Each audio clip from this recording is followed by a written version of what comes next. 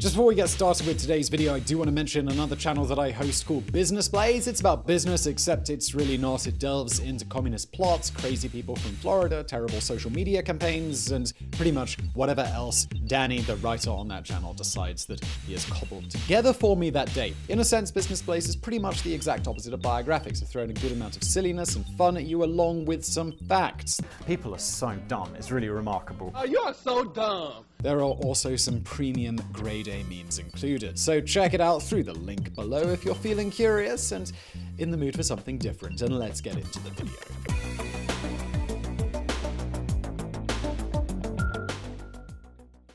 To an artist, there is no greater degree of success than the mononym. Michelangelo, Basquiat, Madonna, to need only one name means that you are a legend in your field. You are more than just known, you are foundational. You are the blueprints that future generations build upon, even if you don't get your own Ninja Turtle. For most of his career, Rembrandt painted, frankly, rather unattractive people. In an age of Instagram filters, it's hard to see the appeal of looking at well, this. So, what made him famous in the first place, and why did he fall out of favor just as his fame was reaching its peak? The story of Rembrandt is rife with the same kind of drama he's captured on canvas. There's passionate romance, heart wrenching tragedy, and a redemption arc that ultimately ends in betrayal. Buckle up because today's episode is going to get a touch Shakespearean.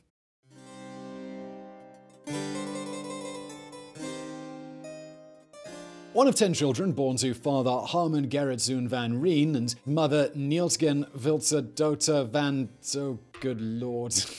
Zootje broke, only six survived. Rembrandt Harmenszoon van Rijn was number four, and he was chosen out of all of his siblings to attend Latin school. They were a family of millers, and Van Rijn actually refers to the river that they lived next to, the Rhine. Rembrandt's education focused on biblical studies, as well as Greek and Roman classics. This clearly had a big impression on the young lads, because they would become the subjects of most of his celebrated works. However, the wonders of the ancient world failed to hold his attention quite as much as painting, and at the tender age of 14, he asked to study the craft at Leiden University. He apprenticed under two masters, Jacob van Swanenburg and Peter Lastman. Van Swanenburg is best known for his paintings of hell, and here is where Rembrandt learned how to play with light and reflections. Lastman painted historical epics, the kind of paintings you think of when you see old important paintings. Naked people tangled up in sheets, startled horses, crumbling architecture, men with swords stabbing horses. People respected these pieces because it demanded a thorough knowledge of not just the human figure, but also landscapes, animal life, and ancient architecture. There's no way to hide any gaps in your own expertise. Either you know what you're doing, or you go down forever in history as the genius who painted a lion with sideburns.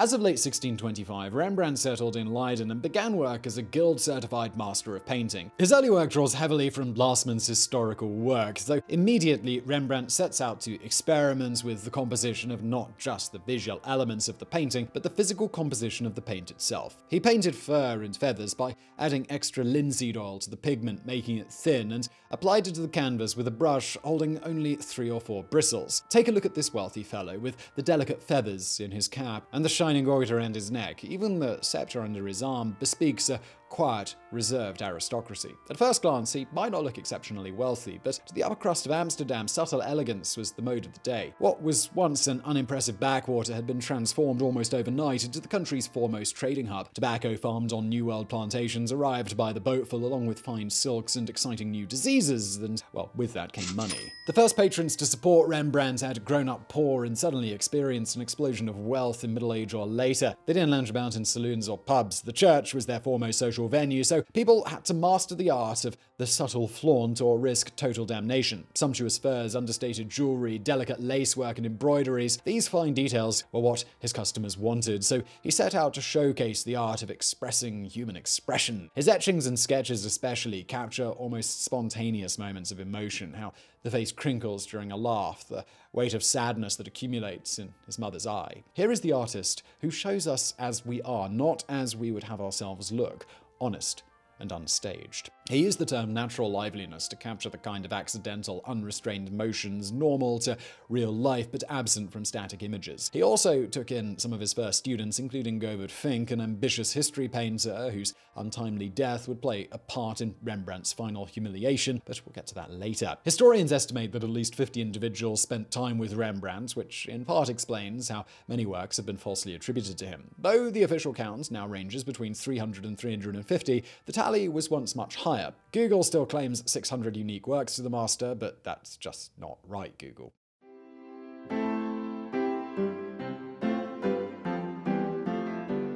He was famous for his self portraits, scribbling off over 40 portraits and 37 etchings, leading some fairly desperate journalists to ask if he invented the selfie. Absolutely not, but let's take a look at an early example and see what made them so compelling to the public. Here we see the artist in his natural habitat. Look at the rough floors, the cracked plaster, the shabby clothes he worked in. Notice how small Rembrandt himself is compared to the foreground canvas. Every detail is meant to convey this noble simplicity, a dignified austerity rather than humiliating poverty. But look at this mysterious aura glowing from the canvas, intentionally turned away from the viewer. His eyebrows seem to be raised, but his expression is unreadable. He sees something we do not. He knows something that we can only guess at. The glow is heavy with possibility. Mysterious emanations of light are a recurring motif in Rembrandt's work, almost always representing some kind of divine blessing. No matter how you slice it, this is tantalizingly sassy. Here we have the perfect summary of his early career, because shortly after this he would begin experimenting with dramatic shadows.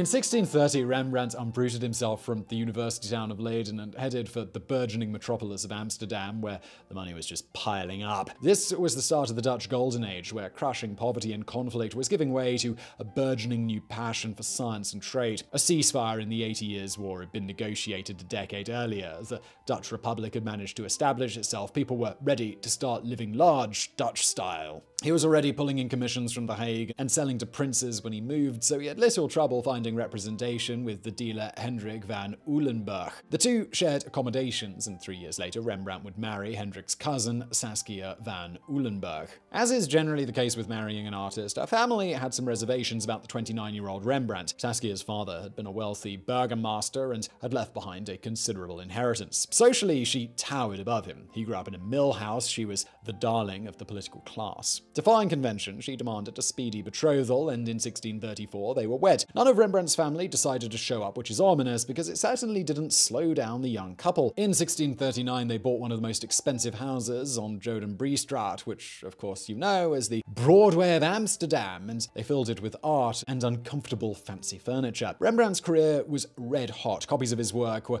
turning heads all across Europe, and he was cranking out more commissioned portraits than ever. Everything the kids touched turned to gold, and as we all know, once you're successful, nothing bad can ever happen to you again ever. So he started spending like his status depended on it. Obviously, it would be sacrilege for me to call one of the foremost European artists a gold digger. However, with his multiple incomes and Saskia's considerable inheritance, they could have paid off the mortgage with a handful of frugal years. Instead, Rembrandt hit the town, paying handsomely for imported Asian weapons, pretty rocks, and antiques, which sprawled throughout his impressive estate. Fun fact, it stops being a sensible business expense at the point where it impacts your ability to repay your debts. But we'll get back to that later. What impact did this sudden wealth have on his work?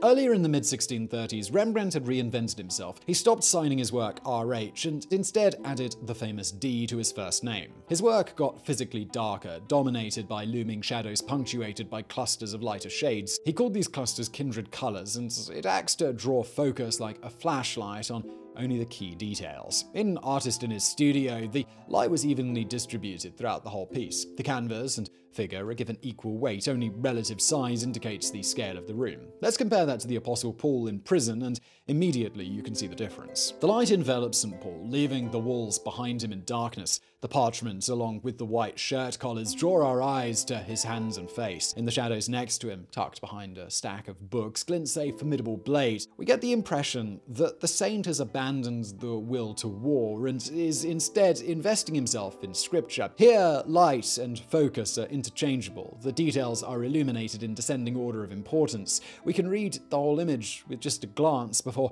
narrowing our attention onto the juicy bits.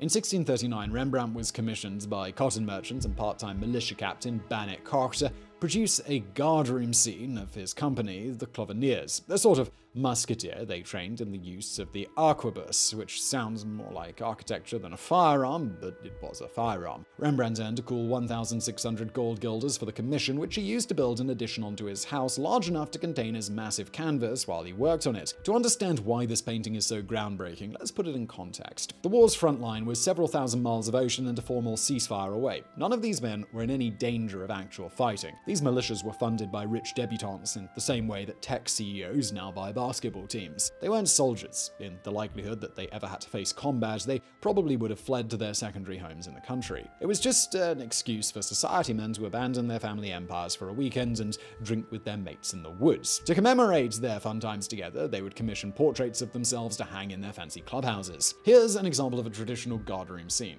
Now, while these certainly look like two rows of soldiers polished up nice for a school photo, do they really feel like soldiers, or are they just well-groomed heads on top of nice clothes? Is soldier something you are, or is it something you do?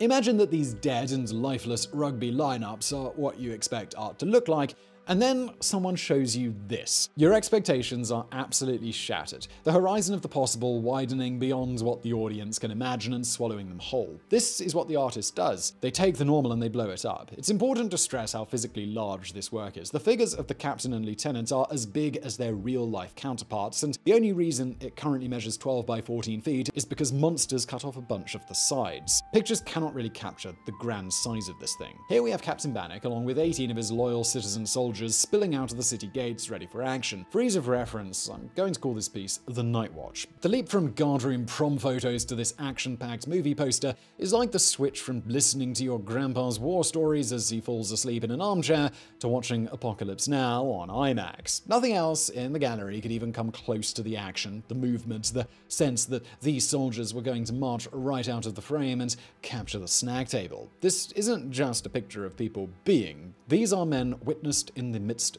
of doing, and there was simply nothing else like it at the time. Arranging people side to side gives them a sense of equal weight and importance. Rembrandt flipped the script on that and framed his piece front to back, with the leaders clearly in the forefront, surrounded by a halo of their troops. The captain is flanked on both sides by glowing individuals, almost like parentheses in the edges and corners of the work, a busy and crowded darkness. Willem is a literal example of the Lancer, a TV tropes term for the second in command. He's clearly got that Lieutenant Riker swagger with his brilliant clothes and ornate weapon, the perfect image of a glorious soldier. The Lance's blade is painted roughly to make it pop from the surface. Look how convincingly it's been foreshortened. The shadow seems to cover a portion of the bottom of the frame. You can imagine him lifting it aloft and shouting charge. But see how the shadow of the captain's hand falls over his clothes. The placement is a little salacious, but we don't need to dwell because the hand is actually holding a lion with a St. Andrew's cross, the city's emblem. The message is clear. The lieutenant does not outshine his commander.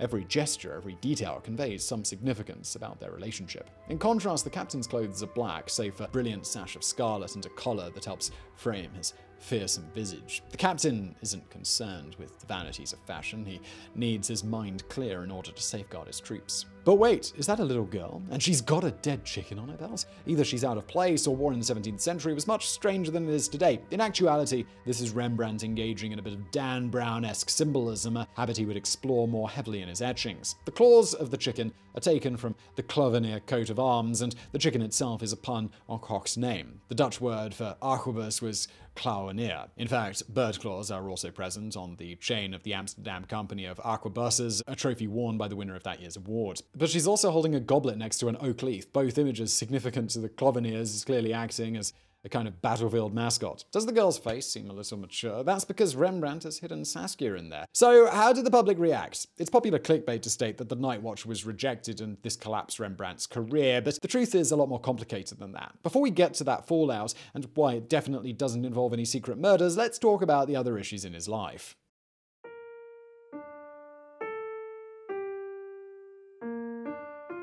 In the midst of their dramatic rise in society, Saskia and Rembrandt tried multiple times to start a family. Only their fourth child, Titus, survived infancy. Shortly after his birth in September 1641, Saskia fell ill, probably with tuberculosis, and Rembrandt started having an affair with Geertje Dircx, their maid. Saskia died on the 14th of June 1642, the same year the Night Watch was finally released. Plot twist, her will stipulated that Rembrandt would lose access to Titus's trust should he ever remarry. While still dallying with Geertje, started with Hendrickje Stoffels, his second maid, who was also 20 years his junior. Outraged Geertje sued for reneging on his promise to marry her. She pawned some of Saskia's jewelry, which Rembrandt had given to her, so he had her committed to an asylum. Then Hendrickje was excommunicated from her church, and this all happened in just one house. Now you know why artists are such popular subjects for historical romances, the drama is apparently very juicy.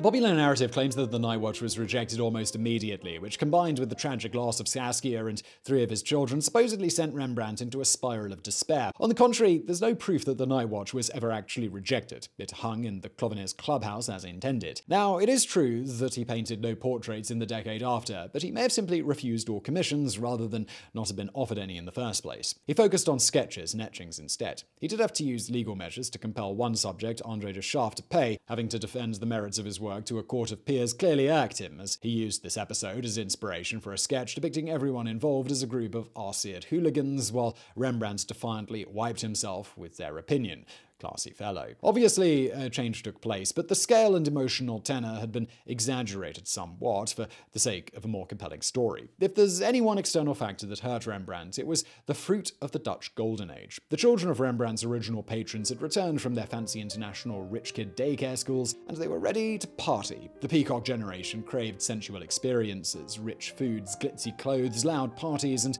they rebelled against every aspect of their parents' stoic simplicity. They wanted nothing to do with Rembrandt's saggy cheeks and oppressive shadows. That was no way for a princess to look. They imported the nascent classical movement from France, which suddenly made Rembrandt's stodgy realism seem all the more drab. He didn't become unpopular, he just became unfashionable. His work was considered praised up until his death, even if it didn't keep up with the trends.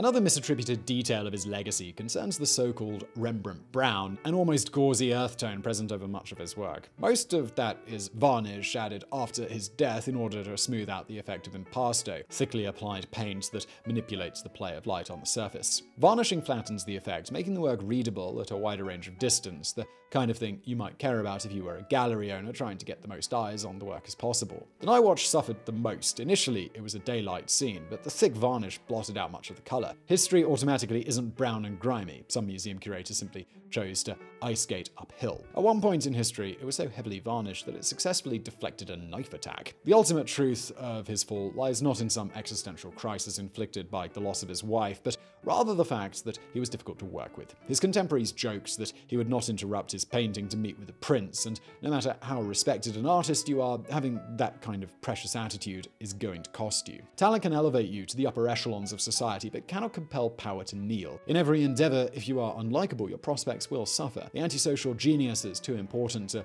bother with social niceties, tend to only be appreciated after their deaths because no one can abide their company while living. Talented, wealthy, jerk. You tend to only get to pick two.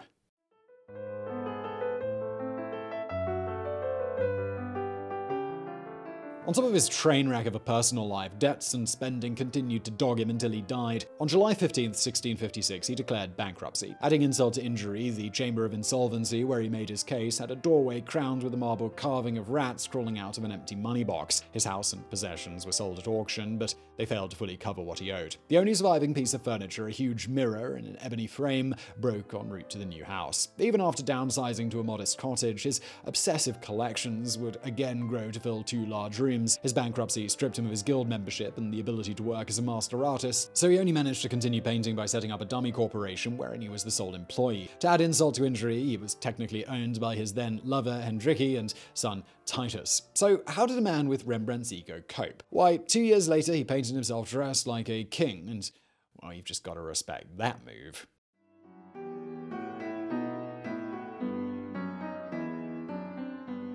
One of the most consistent themes of Rembrandt's later works is how he blurred the line between finished painting and sketch. Rembrandt knew how limited the cone of visual focus really is, and how much detail the human mind fills in around it. At the distance his paintings are seen, he knows exactly where he has to place the fine brush strokes and where he can let us do the work for him. He was very touchy about letting people get too close to the work because he knew the effect would be ruined. He often joked about the offensive smell of the paint, but that didn't stop him from cleaning the brushes on the coat that he was wearing. Perhaps the perfect example comes from this painting of Hendrickje Stoffels. When taken as a whole, it looks like a normal complete painting. Maybe a little on the saucy side with those bare thighs and plunging neckline, but you wouldn't call this unfinished, would you? Let's zoom in on her hands though. I mean, what happens here? It looks like she tried boxing a meat grinder. Her thumb is a single brushstroke. Compare that to where her leg enters the water and the reflection it casts below her. Look how fine the detail is. When his critics claim his work is incomplete, they're pointing to contrasts like this. But if the artist decides it's finished, why does it matter that they've left the unimportant details rough and cursory? The hands clearly aren't the point of the picture. We don't need to see every branch and leaf in the foliage behind her because they're not relevant. It's not a portrait of a river, it's a portrait of someone bathing. The dirty old man wanted to paint his new flame in an intimate moment, and from this, we got a work of immense genius.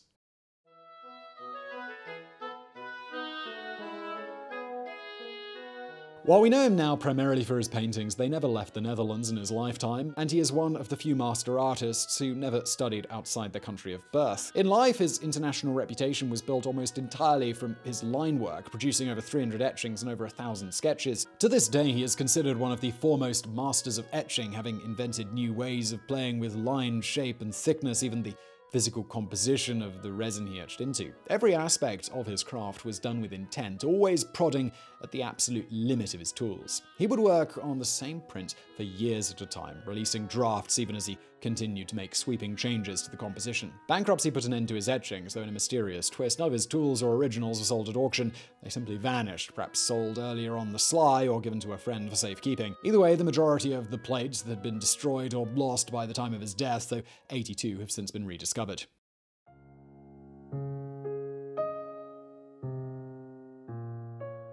Remember Govert Flinck, one of Rembrandt's early students? He had gone on to establish a respectable career producing technically competent histories and portraits, his life relatively free of conflict or strife. He was commissioned to paint a series of 12 canvases for Amsterdam's new town hall, a mix of biblical stories and scenes of mythologized Dutch history. After completing a set of preliminary sketches, he died suddenly and the commissions were divided between his contemporaries. Despite being out of favor with the elites, Rembrandt was chosen to depict the conspiracy of Claudius Civilis, where a former Roman Roman soldier united the disparate tribes and drove the Roman army out of the Rhine. It's a story intimately familiar to the entire country, marking the birth of the Dutch identity. Nascent liberation from Spanish rule added an extra layer of significance to the story, which was experiencing a popular resurgence at the time. It's like King Arthur, but real. That's how important the story was to Rembrandt's audience. So, of course, he was going to play it safe and not offend anyone. Right?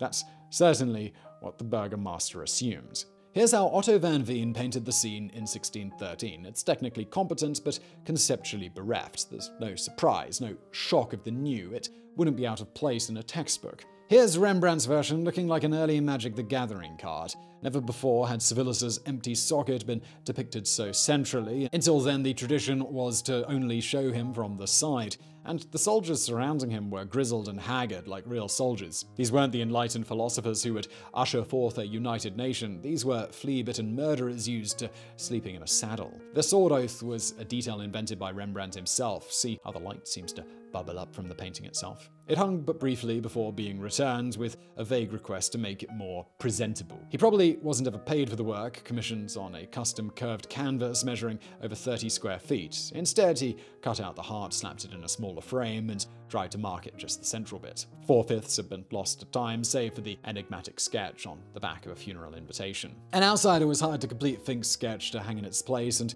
slapped together a replacement in four days. Rembrandt was unable to find a buyer and instead had to sell Saskia's grave. His chance at a comeback came and went. Hendrickje died in 1663, Titus went in 1668, and his father followed one year later. So I really hope you found that video interesting. If you did, please do hit that thumbs up button below. Don't forget to subscribe, and thank you for watching.